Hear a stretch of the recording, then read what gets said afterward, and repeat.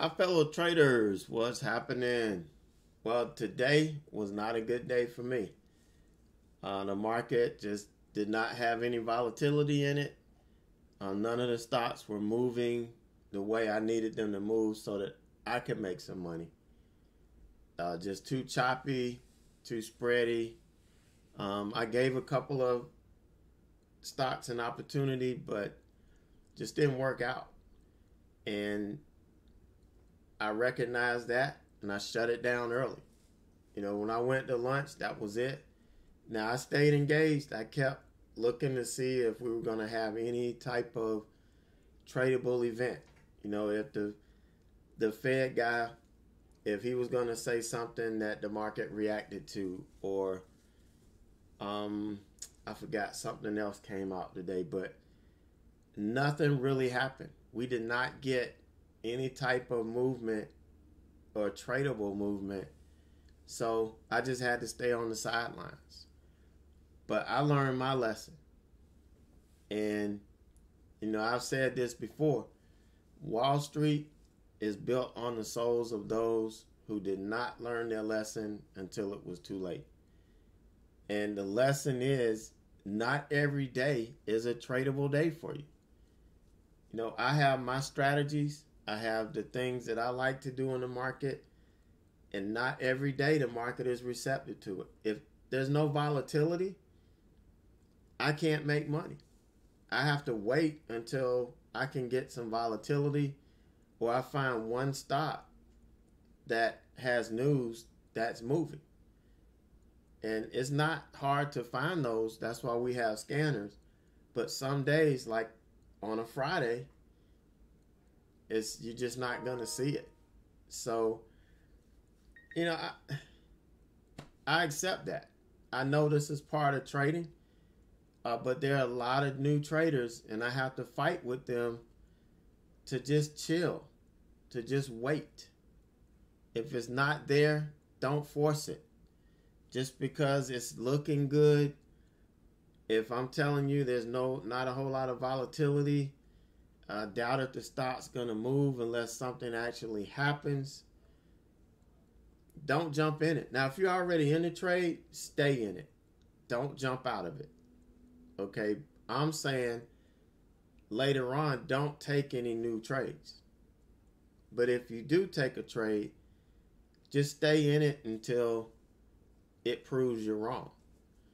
And I'm gonna show you an example today. I had a, a, a trader I was mentoring with. Uh, we met at 12 o'clock, and I'm gonna show you what happened with, with that.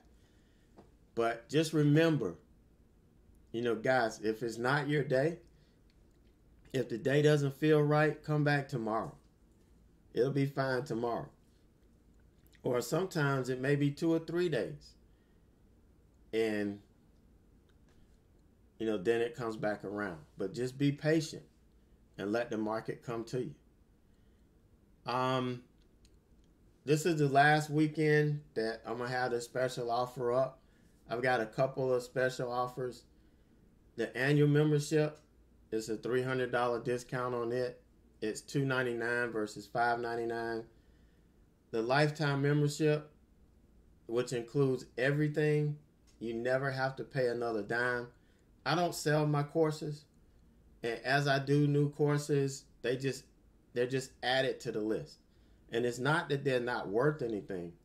According to the IRS, my courses, my content's worth 12 grand. So that's the value that you're getting. I'm not selling them. I feel that it should be part of the membership. And I'm not in this to try to sell courses and make all this money. I did, I was selling them at one time because that's what I was advised to do. And then I got a new attorney and he's like, no, you don't need, you do what the hell you want to do. All you need to do is ha- have a value for it. And that's what I got. So it's not that these courses are not worth anything. They're worth their weight in gold. I've, now I don't have a million dollars in profits, but I have made over a million dollars doing this same stuff. You know, you know what taxes do. So I'm still a little ways away from saying I had put a million dollars in the bank, but it's it's worth its weight in gold. So the lifetime membership is five hundred dollars off of that. Normally twelve ninety nine is seven ninety nine. You get everything. Everything is all access. Every membership is all access.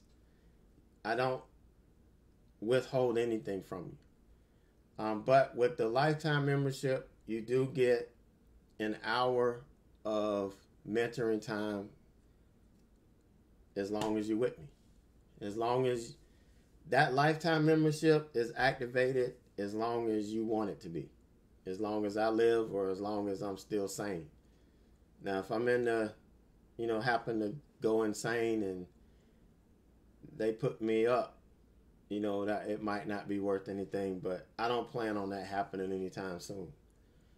So it's for as long as we both shall live. And you do get a mentoring session uh, every month if you so need. Um, the last special is this is the roadmap special. This is what we've had um, pop up periodically. This is six months access, but it's two forty nine. But you get an hour mentoring a month. You can break it up into four 15 minute sessions where we meet once a week, to 30 minute sessions where we meet twice a month, or one one hour session. Now again, I limit these because I know how many people I can work with. So once it once I get too many, I have to pull it down. Uh, I didn't get filled up last week, um, but we're close now. Because for you members, if you're already a member, you can use what you've already paid and upgrade to a lifetime membership. So some of you guys have taken advantage of that. But this is going away. It's going to disappear as soon as it gets filled. So just wanted to let you know it will run up, but regardless, it's going away Sunday night. And then going forward, we're just going to be focusing on nailing some trades. Now, here's a trade that uh, one of my uh, mentees, he was in this, okay?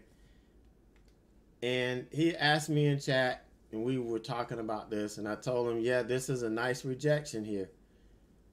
Um, but I wouldn't get in it unless it broke the low. Because too often it will not break the low, it'll come down. You end up putting in a higher low, and it starts pushing back through this. So I always say the, the, the smart thing to do is to wait for it to break the low. But you got to pay attention to this 88 66 level. You know, would you be okay taking profit here if it got stopped? But, you know, I guess he didn't pay attention to it at that point and ended up getting in a little bit late. Uh, I think he was about 20, 25 cents too late. And if he had got in when he was supposed to, this would have been a nice profit target here to at least take some off. But, you know, obviously he couldn't here because it was just too close. So you had to, um, you know, hold out for it to break. And so, you know, this bounced and bounced, and we met at 12 o'clock. And so at 12 o'clock, this is what it was looking like. And I told him, you know, you did a good job. This is ideally this is where you want your your stop. So you want to go in with small enough size to allow yourself to put your stop up here at the high of this previous bounce. Because if it bounced over this, trade's dead. Okay, you take it off. But it never did make it up there, and you can see we were making um, lower highs. Ever so slightly, but it was lower highs. Here we made a higher low, and had this thing broke, it probably would have taken it off. But it didn't. It again, it made a lower high, and we came back through. And I know this was tedious and tedious, And when it came down here, he texted me, well, not text me, sent me a, a message and said, it's bouncing, it's, it's double bottoming, I'm getting out. And before I could answer him and tell him, yo, why the hell are you going to get out when you've held this thing for like two hours and it's trending down? And remember, if you watch some of the class and you looked at some of my recaps this week, I told you about taking a step back, looking at the trend. If you sit back and look at this trend, this thing is trending down. There's no reason to bail out of this. And so he bailed out. 30 minutes later, look at what happened. You know, 30 minutes later, look at what happened. I mean, the bottom fell out of this thing. So he missed it, and he's sick, and he he should be sick because we just talked about this. Um, but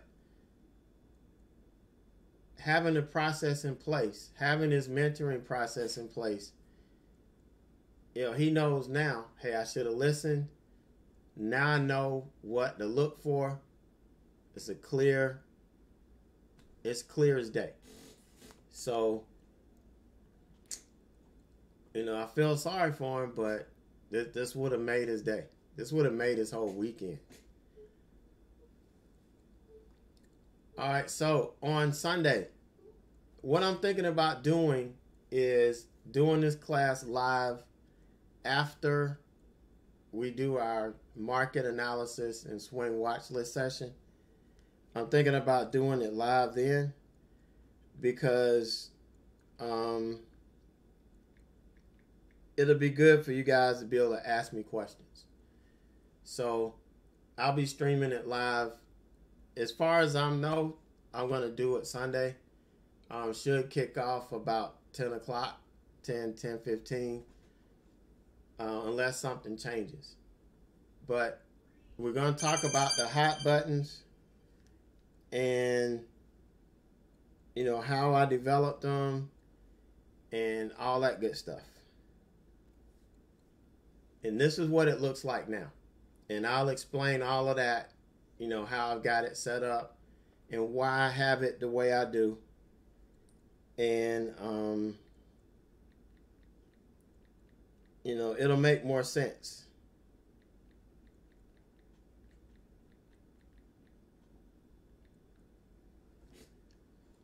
So Sunday, I think I'm I plan on doing this Sunday. All right. So today, here's what we're looking at um, on the spot. This is what we looked at last week. Uh, how we were trading in this channel and it did come back on Monday but it got up on Tuesday and yesterday we had a nice gap and I told you I'm not looking for any swing trades until we get unless we bounced and got over this this week but it came on Thursday and this is exactly why I don't jump in swings on Thursday because look at look at what happened in the market today. This is a joke. This is absolutely no volatility, period. None. Now, yeah, it moved up and down. If you're watching a five minute chart, three minute chart, two minute chart, yeah, it moved up and down. But how far? It didn't move at all. So, my stocks that I like to trade practically did the same thing. They didn't really move. It didn't give me an opportunity to make a trade or to make money trading. So we're going to keep an eye on this. Uh, you know, as I thought that if we did gap over this, uh, we would make a run for the 52 week high. And that's what we're looking for. Now, I'll use the SPY to gauge the market on most of the stocks I trade, well, all of the stocks I trade are part of the S&P 500, and the SPY is an ETF for the S&P 500, and I can relate to the SPY better. So that's why I watch it. All right, so today, here's the first mess up. It worked. I did take profit here, but somehow I bought again, and I just kind of held. It came back and dipped below break even. You know, I had locked in some profit. I don't know how much it was, but and this was holding the VWAP. So I was like, as long as this thing holds, I'll be fine with it. You know, it's holding VWAP, the nine, the 20 was coming up. And we just got a dip that caused too much pain. So I had to take it off. I didn't have any choice but to take it off. But I wasn't getting back in this because I did not like the way the market was feeling. I didn't like the way this thing was going. So I got out of it and kind of washed my hands of it. And it really did it eventually it did make a move up, but it was so choppy and messy. It, it's not what I like to trade. It's not the market or the price action that I like to trade. So I manage my risk. Um, $160 loss on it. Not bad. That's managing my risk. So we moved on. Now Facebook, we made this big sell off. We had a bounce here. I'm looking for the trend continuation. I'm waiting for it to break the low here. And I got in on it and nothing. Evidently, somebody didn't want it to leave this level and it ran back up. Now, eventually, it came back down and went through this, but you know, by then I was done for the day. After this, I was done. It was over for me. Nothing set up, nothing I felt good about, so I shut the thing down. I mean, it didn't make sense to to try and and sit here and enforce anything. So I moved on. And so that was my day, minus 373, 78. And I ended the week on a red note, but the week, the week is green. Uh, almost squeaked the grand out. It was a short week. You know, Monday was a holiday. Tuesday, we didn't have a whole lot of volatility Tuesday, and I struggled a little bit. Uh, Wednesday was okay. This could have easily been a $600 day but I did get stopped out twice in the midst of um, trading that stock. But 347, 53 wasn't bad. Yesterday was the big day with PANW. Uh, and we did, and two of those trades were live on YouTube. So you can go back and actually watch those. I did a live stream yesterday morning. And if you haven't seen it, you can go watch it. You can see how I found it um, how I scanned it, built my watch list, and how I set up to trade that stock. And then the day, no good. So starting the, month off 9 1968, we are over 30 grand. I essentially hit it last month. I only missed it by like a dollar and some change. So rounding up, I did hit it. So I'm happy. I tried to mess myself up last week but I finally hit it. So here's the equity curve. We're still heading in the right direction. Um, probably we'll get a pullback here pretty soon, um, but I'm not looking forward to it. You know, I may have another slow week or so, but it's all about being consistent, doing the same thing every day, day in and day out, regardless of whether you hit a losing streak that's going to happen. That's part of the business. Just like you have winning streaks, you're going to have losing streaks. And that that's just the way it is. And we have to accept it. Take the good with the bad, take the bad with the good, and keep on trucking. All right, so that's to do it for me this week. Um, don't forget, guys, Sunday, Sunday morning at 9 o'clock, we'll be in in the in the room doing our market analysis, building the swing trade list. And after that, I'll do the plan is to do the class on hot buttons. Kind of show you how I've got it programmed, why I have it the way I have it, and, and how I use it.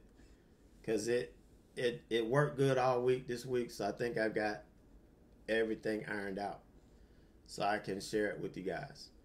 So until then, guys have a safe weekend and help, and pray for my Gamecocks that they do good tomorrow because I had given my tickets up and I had to quickly retract them because I've, I've been excited to see what um, these two other quarterbacks can do. So I got to go see that. But you guys take it easy. Have a great weekend, and I'll catch you next week.